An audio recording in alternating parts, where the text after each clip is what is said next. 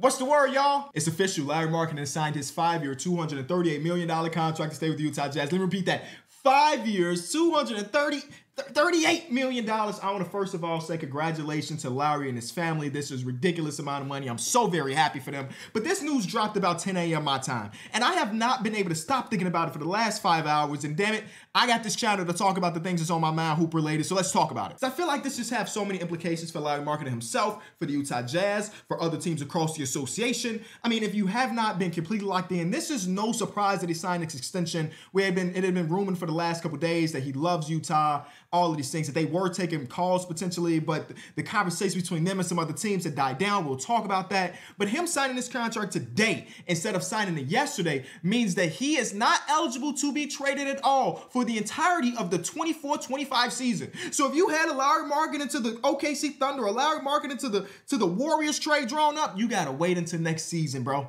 Cut it out. He can't be moved anymore. And I feel like that is just different.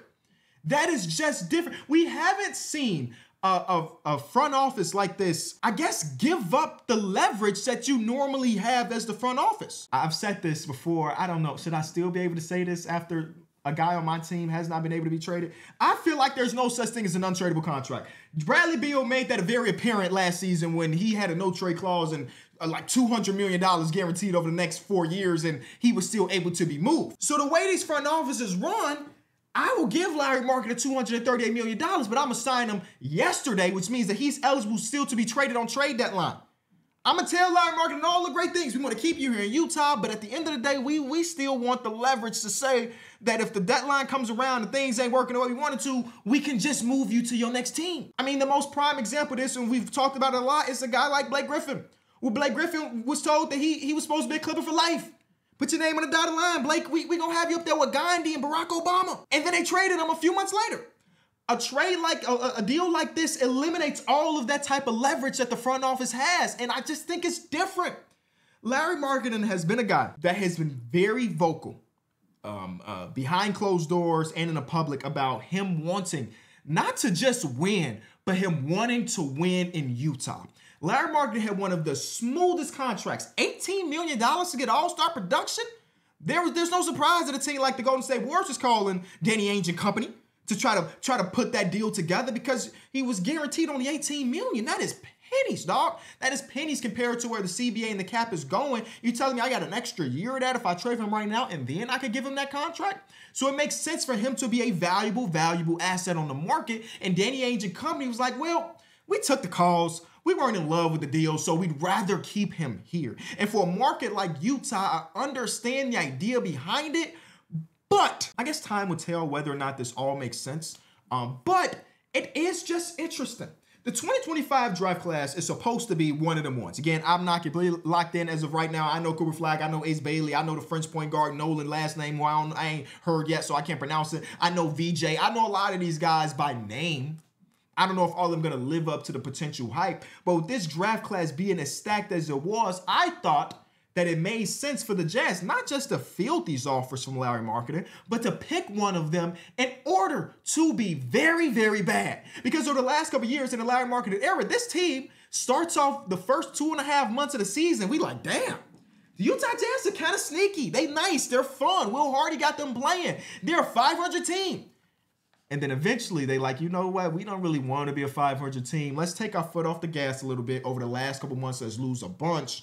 And now we're picking at pick number nine and pick number 10. That has just been the way it has gone over the last couple seasons. So keeping Larry Markkanen on the roster potentially puts them in that same exact spot.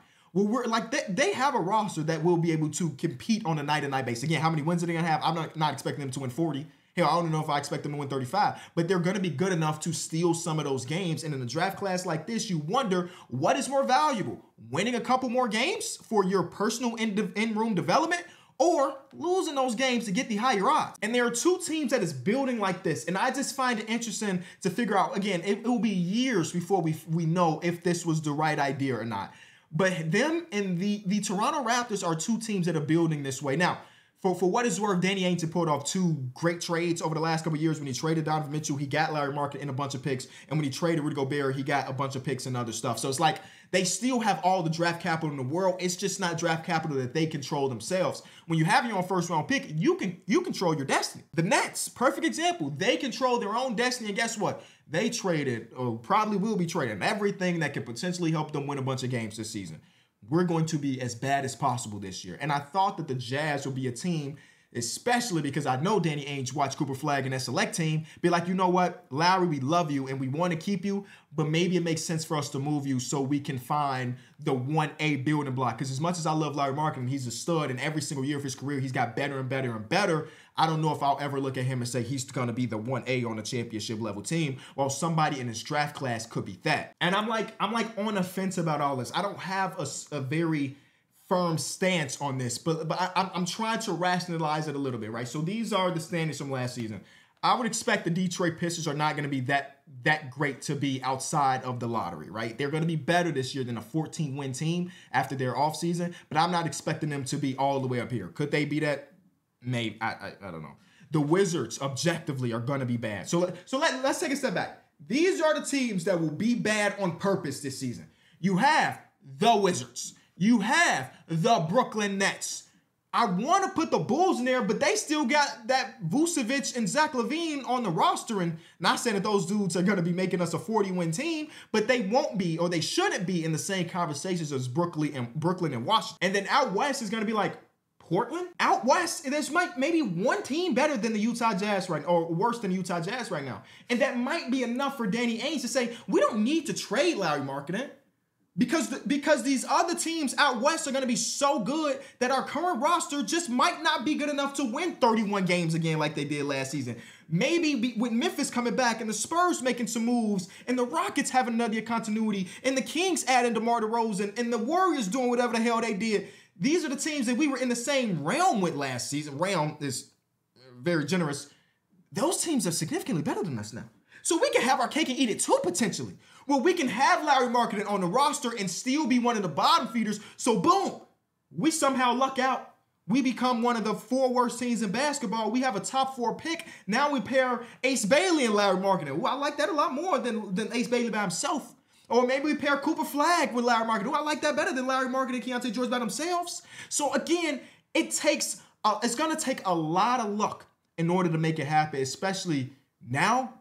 But I kind of, a little bit, under, understand it. Because at the end of the day, with the flat odds, you, you're really just playing a game of luck where you can be the Detroit Pistons. No disrespect, Pistons fans. I ain't trying to take shots at you. Where you can be the Detroit Pistons and have the worst record in the league three years in a row and still end up with the fifth overall pick every season. Or you can be the Atlanta Hawks. Or you can be the Trailblazers from the previous year. They had the fifth highest odds. They jumped into the top three. Or you can be the Sacramento Kings from the year before, who had the seventh highest odds and ended up at four with Keegan Murray. Like it's all a game of luck. And with the flattened odds, you take that chance more than in previous years, where like if this was 2013, then it makes sense to have two real NBA players in your roster and the rest be G Leaguers because, well, that could get us um, Ben Simmons and then the pick that ended up being Markelle Fultz, or I guess the pick that ended up Jayson Tatum and it ended up Markelle Fultz. The flattened odds make it a little bit more reasonable to make this happen. And it's not, this is not a Victor Wembanyama year. Maybe it will. Maybe it will be. Maybe Cooper Flagg goes to Duke and he is really everything in the bag of chips and nobody in the draft class to mess with him. But from all accounts, this is not a, a 1A and then everybody else is not good.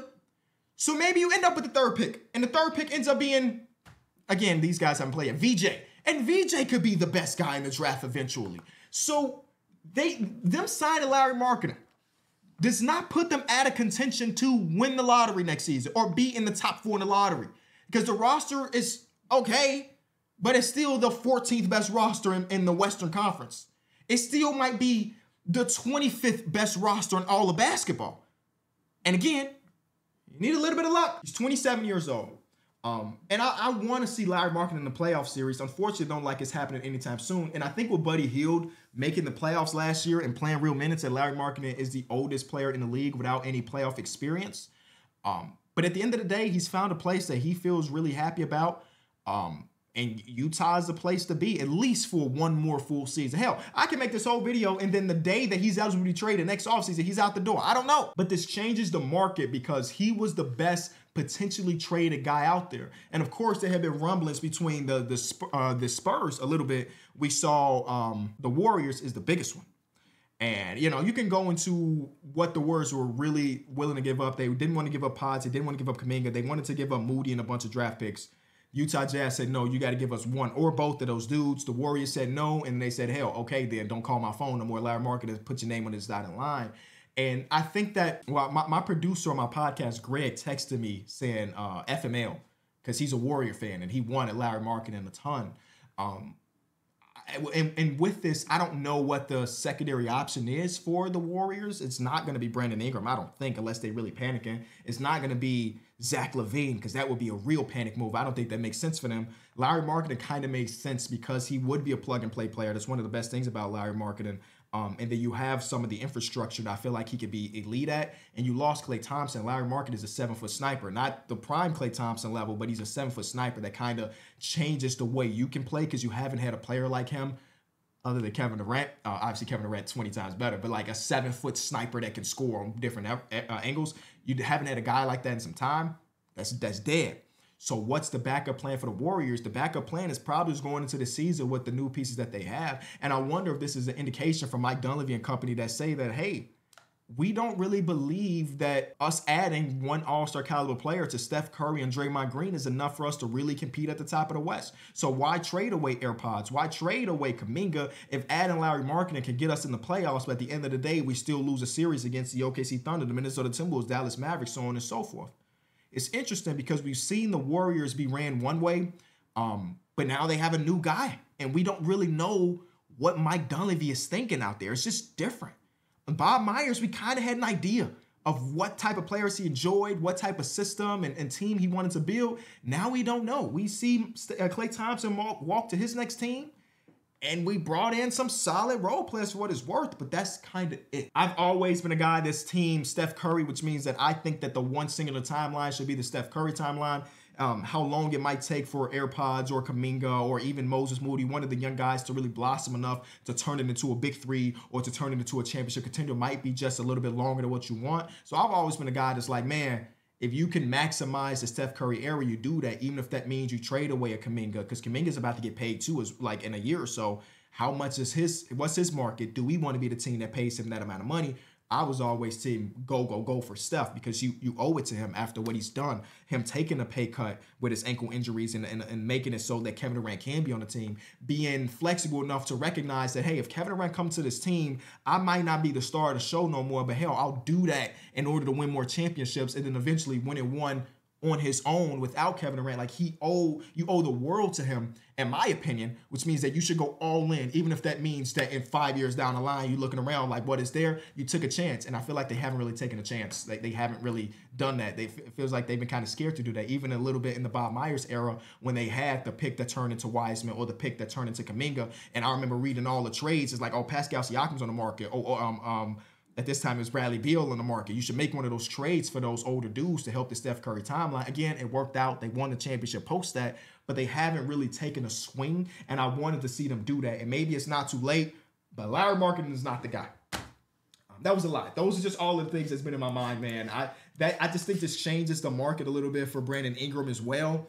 We're just rumored that no team, like not that no teams want him, but no team wants to pay him two hundred million dollars next season. So it's like Okay, is he gonna get moved? What does that mean for Trey Murphy the third? All right, I'm out.